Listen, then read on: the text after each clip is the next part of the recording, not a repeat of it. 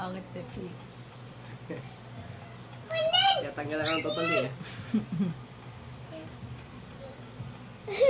Ikaw.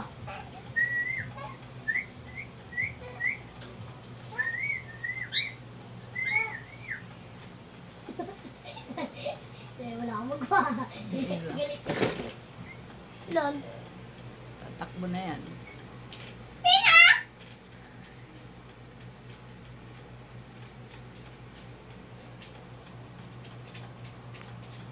Tsura. Awit siya. Labala, labala, laba, labala. Ikaw, gusto mo, gusto mo. Oh. Ayaw mo. Ito takot sa tao to eh. Ay, patabuhin natin dito si Pika. Ah, daddy. Tapos pag lumipad siya, daddy.